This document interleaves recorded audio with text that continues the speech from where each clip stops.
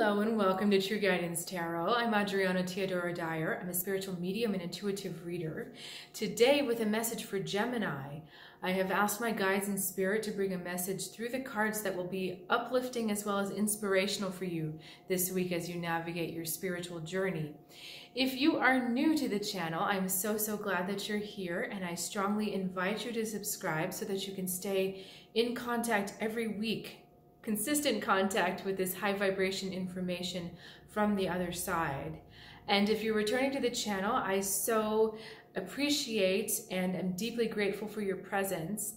Um, I really want to get into your reading, but I also want to mention that I am offering these very special, time-sensitive solstice readings. They are solstice and new year readings to help empower your next journey forward into 2021 talk about karmic lessons that are done, what needs to be completed, still where you are on your journey.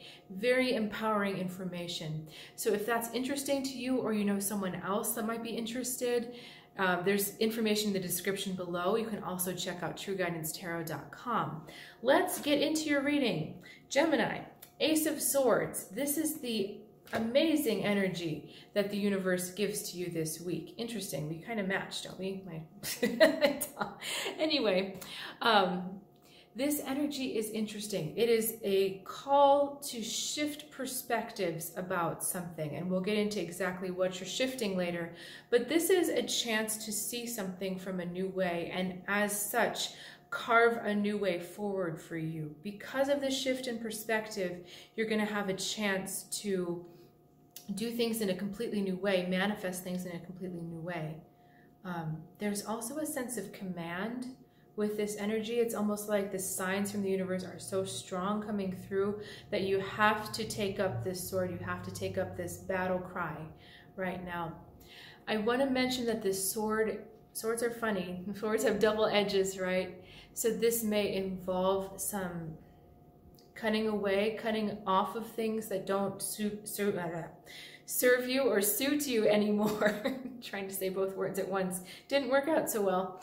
Um, and so just keep in mind that swords are a way forward, but they're also a weapon to help you rid yourself of anything that's holding you down. Now we've got the Princess of Wands for the way you respond, and so I think in a kind of magnanimous way, there we go, magnanimous way, you take up the cry. You're like, yeah, okay, and you set out on your journey and you think this is going to be a great adventure. But the tendency of this Princess of Wands is to be very hasty and impulsive with her decisions and to jump in a little bit quick too quickly before actually looking at what's in front of her. So yes, her heart may be pure and true, but her impulse and her her desire and her enthusiasm can sometimes get the better of her. Okay, this is starting to become a little clearer. We've got the Knight of Cups going into the King of Cups, going into the Ten of Cups. You have so many cups here. Now what's interesting to me is that we have the end and the beginning. We have an ace, we end with a 10. We have the princess, she goes into the knight. We're missing the queen, but we go straight to the king. So that's interesting. That may come into play later. This Prince of Cups is an idealist. So there's something there's something that you're searching for or someone in your energy field, someone close to you is searching for that's an ideal of something. So when you're on your quest, when you've been given this go-ahead by the universe and you're out there, you may encounter something that doesn't, that seems to be what you're looking for.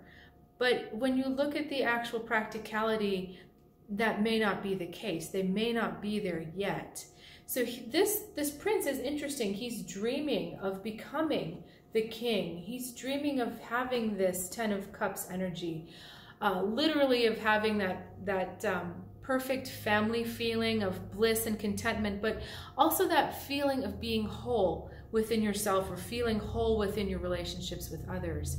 The king is something who he's kind of monitoring that, this, this energy right here. And he's so the, the problem with this prince is that he thinks that he's the king. He believes that because he desires this energy so much, he believes that he is this energy.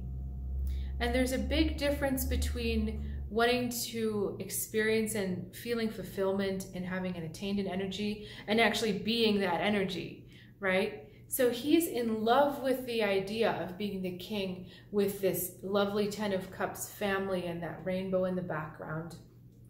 He's, he's in love with that, but he's in a transition spot. He's not there yet. This energy is not there. So this, I'm not sure if I'm talking about you especially or if I'm talking about someone in your environment, but either way, it's influencing you somehow. When I was looking at this reading, my guide said to look at the backgrounds. This is a very strange set of colors.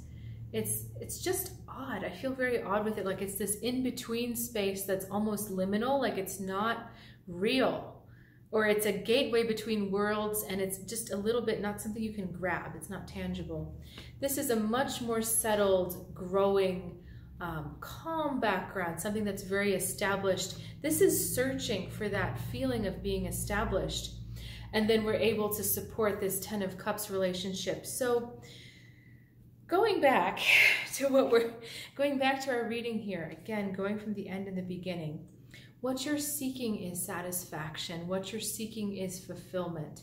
That's what this Ace of Cups is, I mean, Ace of Swords is all about, that you're seeking a new direction for your fulfillment.